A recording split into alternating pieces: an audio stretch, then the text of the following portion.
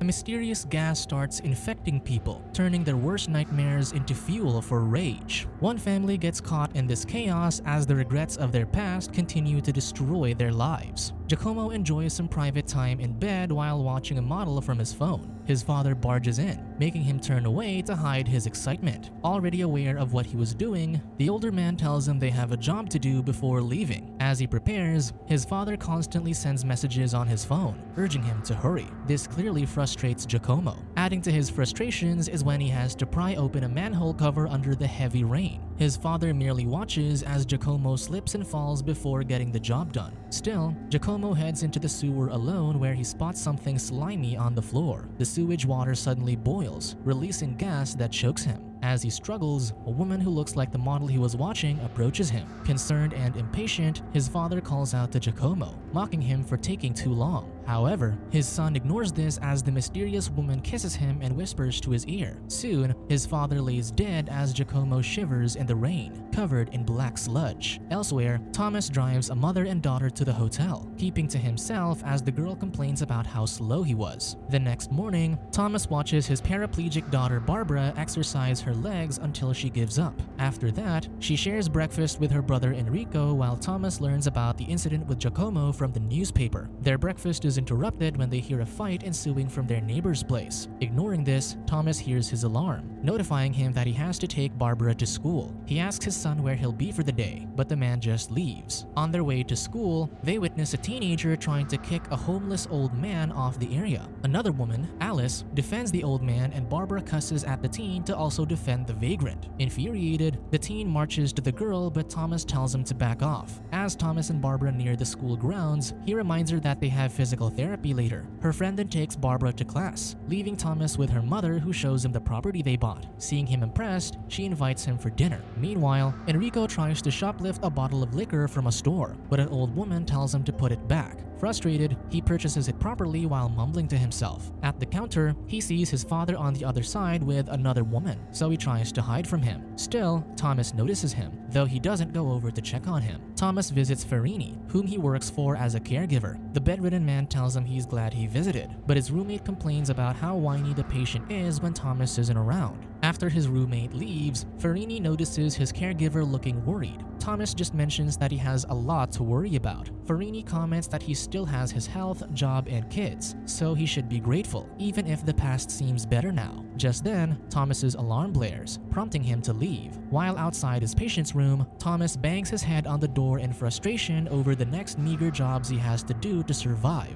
He then proceeds to do house chores, struggling to get things done to keep his family afloat. During this, his son sits alone when a basketball hits his head. A group of men ask him to pass the ball back, but he instead kicks it away and starts recording them. This riles them up, so they chase him. Enrico hides in a store, then steals a mannequin and sets it up with firecrackers in an abandoned swimming pool. He records the explosion on his phone and sends it to a chat group. He admires his work and the comments on it, but pauses when he sees his late mother on his phone wallpaper. A security guard finds him and asks him to leave, but the troubled man belittles him instead. Seeing the guard feel sullen, Enrico leaves satisfied. The man then spends time with Martha, an older woman for hire. After their tryst, she checks on him, so he shows the videos of the angry group that chased him. The motherly woman asks what his father thinks of this, but Enrico replies that someone who broke a family has no right to tell him what to do. Right now, he only cares about his sister. He then tries to flirt with Martha, but she commands him to take a bath. Elsewhere, Thomas naps on a sofa while the news covers a violent murder. His alarm wakes him up but puts it on snooze. However, the yelling and fighting from the neighbor's house keeps him awake, so he decides to intervene. He knocks on their door and asks about the noise. The neighbor apologetically explains that his wife has violent depression, but Thomas spots the wound on his head and barges in to check things out. To his horror, he sees the neighbor's wife stabbing the floor with ooze dripping from her face. Thomas recoils in shock,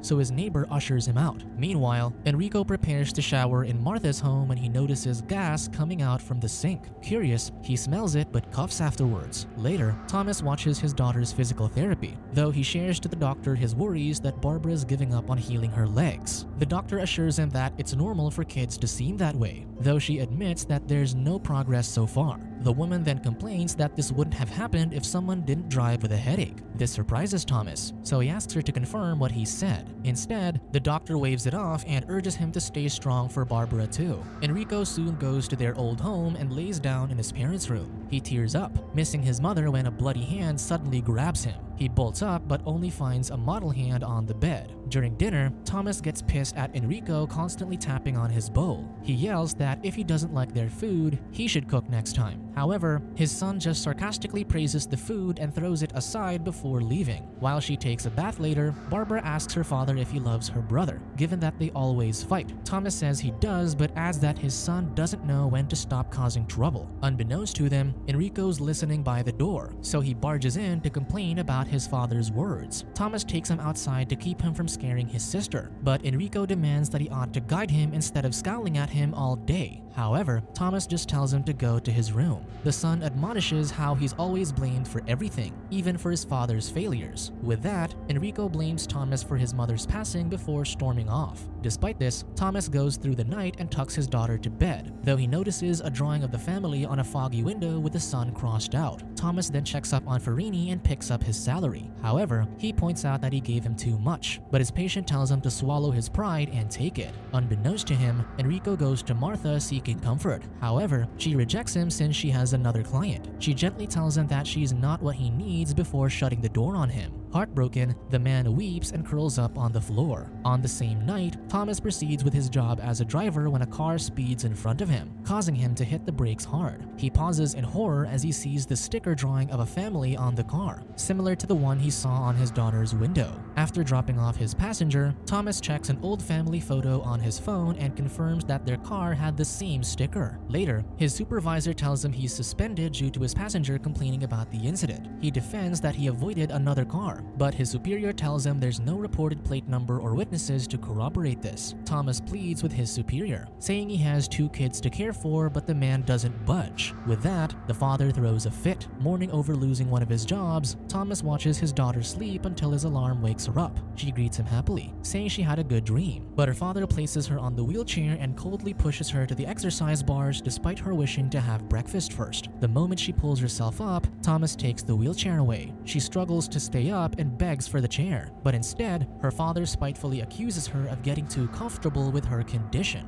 He continues muttering how her condition drives him mad enough to kill someone, but he snaps out of it when Barbara falls. Guilty, he takes her into his arms, tearfully apologizing. Barbara forgives him, but requests to have breakfast and make amends with Enrico. Over breakfast, Enrico cheerfully talks with his sister, but hearing him this way distracts Thomas enough that he spills milk. He resentfully offers the mug to Enrico, who rejects it at first but Barbara urges him to take it. She then requests that Enrico joins them on their way to school. Humoring the kid, Thomas drives Enrico to school along with Barbara. During this, the news on the radio announces more gruesome murders happening all over the city. This upsets Barbara, so she asks Thomas to turn it off. However, the man's mind wanders off upon hearing the news, prompting Enrico to switch the radio off instead. Finally, their father snaps out of it and continues driving. Despite his sister insisting on taking him to school, Enrico decides to skip classes. On his way, he bumps into his friend Janlu. The man is glad to see him back, but the troubled man says he's leaving since he was only there to make his sister happy. Disappointed, Janlu walks off, but Enrico offers to skip class with him. The two spend the day goofing off and even break into the abandoned swimming pool. There, Janlu asks if he blew up the mannequin for attention,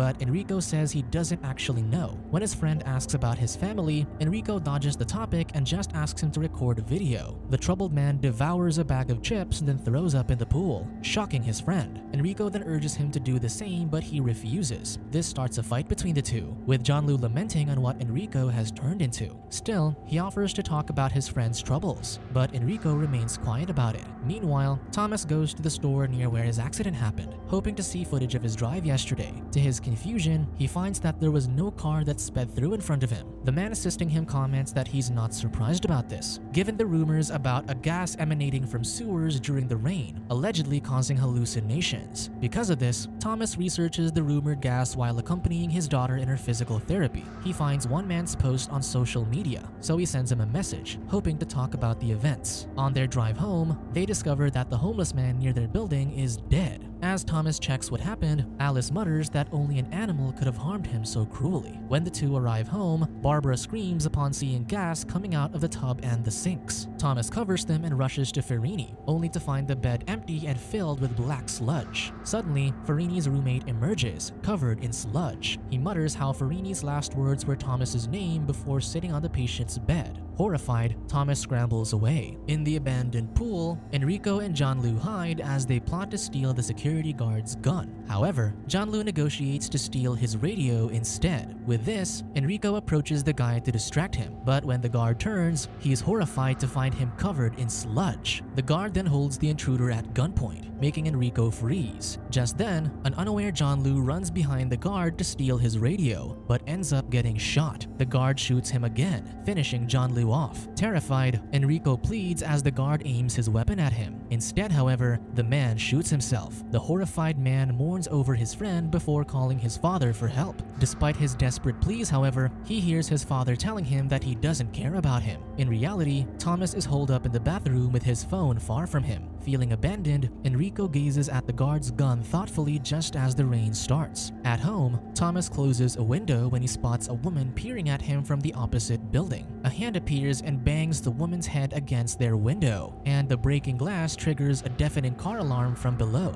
This causes Thomas to twist in agony until the sound stops. He peers through the window again, only to find the curtains on the opposite building closed. His phone then dings, leading to Thomas to finally discover that he missed his son's calls. Ultimately, Enrico sends him a message declaring his freedom. Before he can process this message, someone knocks on the door. Scared, Thomas grabs a screwdriver before checking, only to find that nobody was outside. Instead, he finds writing on the walls. Just then, he hears someone enter his home, and when Thomas checks, he finds a trail of black sludge leading inside. He follows it to a room and freezes upon seeing what's inside. Elsewhere, Enrico goes to Martha's place and follows a woman's voice calling to him, unaware that his lady companion has drowned in the bathroom. When the man enters the bedroom, he sees his deceased mother Christina on the bed, asking him to join her. The same apparition appears for Thomas, who shivers in Christina's arms. Each of their hallucinations whispers sweet things to them, but afterwards, the woman calls them failures. She tells Enrico that he's a failure because his father abandoned him. Meanwhile, the apparition tells Thomas that his son broke their family. The apparition then urges them on what to do to set themselves free. With this, Enrico holds his gun and Thomas grips his screwdriver, with both having black liquid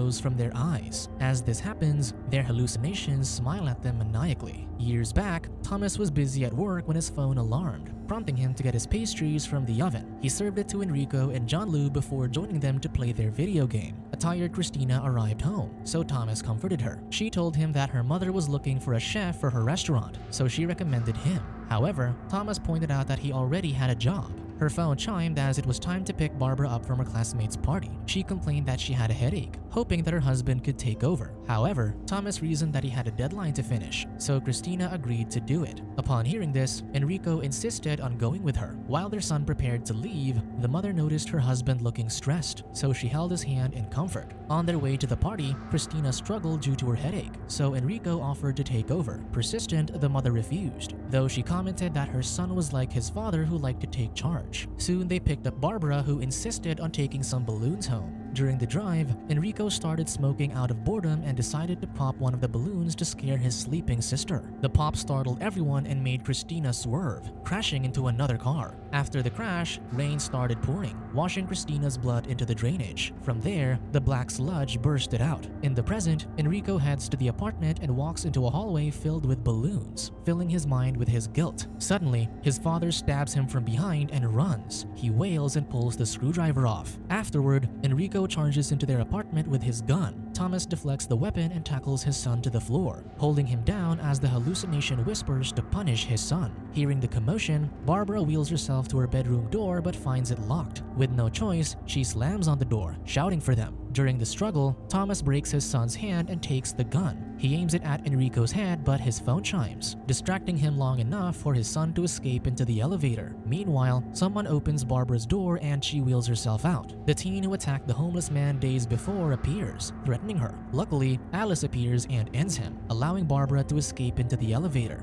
At the parking lot, Enrico hides from his father, only for Thomas to yank him from behind. The man holds him at gunpoint, but Barbara cries for them to stop. The men are stunned to see her standing in her attempt to save them, but she falls back down. Still, she crawls towards them, cursing at them for ruining their family. Guilty, the men hold Barbara's hands to apologize just as a disfigured, sludge-ridden form of Christina drags itself towards them. Instead of being afraid, Thomas reaches out to her, but the figure melts, unable to take hold of their minds anymore. The father and son then gaze at each other when tears flow from their eyes, washing off the darkness that infected them. Soon, the family walks out of the apartment. Amidst the chaos that ravaged their city, the trio embrace one another, treasuring what they still have instead of fixating on the days they lost. Subscribe to watch more videos like this, turn on notifications and leave a like to help the channel out. Thank you for watching.